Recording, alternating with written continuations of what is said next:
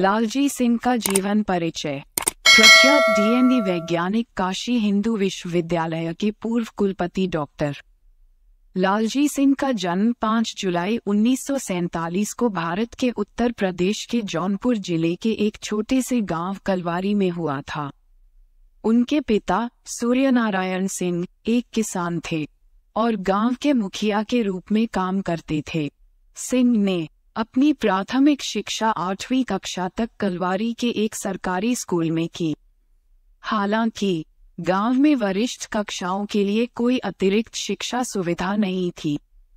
इसलिए उन्हें अपने गाँव से दूर पास के गाँव प्रतापगंज में एक अन्य स्कूल में भर्ती कराया गया। स्कूल में विज्ञान समूह में अपनी बारहवीं कक्षा पूरी करने के बाद उन्होंने जूलॉजी और साइटोजेनेटिक्स में स्नातक की पढ़ाई करने के लिए बनारस हिंदू विश्वविद्यालय में दाखिला लिया। सिंह ने बीएससी की उपाधि प्राप्त की। 1964 में बनारस हिंदू विश्वविद्यालय बीएचयू से डिग्री। सिंह ने 1966 में बीएचयू में अपनी मास्टर डिग्री कक्षा में सर्वोच्च अंक प्राप्त किए और योग्यता के क्रम में प्रथम स्थान पर रहने। के लिए बनारस हिंदू, स्वर्ण पदक, जीता। उन्हें 1966 में विश्वविद्यालय अनुदान आयोग, भारत द्वारा जूनियर रिसर्च फेलोशिप, जेआरएफ, से सम्मानित किया गया था। इसके बाद सिंह ने सांपों में कैरियोटाइप के विकास पर अपने काम के लिए बनारस हिंदू विश्वविद्यालय में डॉक्टरेट अनुसंधान पर काम किया और 1971 में डिग्री प्राप्त की। प्रोफेसर एस पी रे चौधरी के मार्गदर्शन में साइटोजेनेटिक्स के क्षेत्र में। उनके डॉक्टरेट शोध के निष्कर्षों का सारांश क्रोमोसोमा में प्रकाशित किया गया था।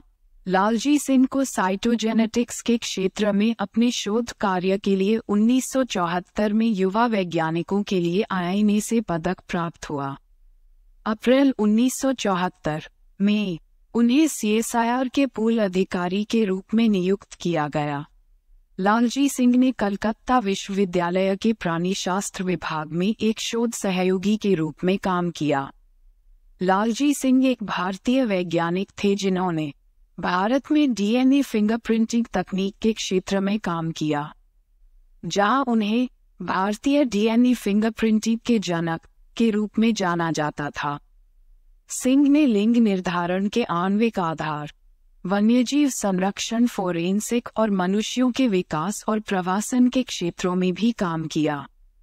2004 में, भारतीय विज्ञान और प्रौद्योगिकी में उनके योगदान के लिए उन्हें पद्मश्री प्राप्त हुआ। भारत में स्वदेशी डीएनए फिंगरप्रिंटिंग प्रौद्योगिकी के विकास और स्थापना के लिए सिंह के जीवन काल के योगदान को मान्यता दी गई और उन्हें भारत में डीएनए फिंगरप्रिंटिंग का जनक कहा गया। अगस्त 2011 से अगस्त 2014 तक लालजी सिंह बीएचयू के 25वें वीसी के रूप में कार्यरत रहे। खबरों की माने तो बीएचयू का वीसी रहने के दौरान उन्होंने सिर्फ़ एक रुपये वेतन लिया। वे अगस्त 2011 से अगस्त 2014 तक आईआईटी बीएचयू बोर्ड के चेयरमैन भी रहे। मई उन्नीस सौ अट्ठानवे से जुलाई 2009 तक वे सीसीएमबी के निदेशक और उन्नीस से उन्नीस सौ निन्यानवे तक centre for DNA fingerprinting and diagnostic के रहे। उन्होंने आणविक आधार पर लिंग परीक्षण वन्य जीव संरक्षण, फोरेंसिक और मानव प्रवास पर काफ़ी काम किया। लालजी सिंह की मृत्यु 10 दिसंबर 2017 को दिल का दौरा पड़ने से भारत के वाराणसी में निधन हो गया।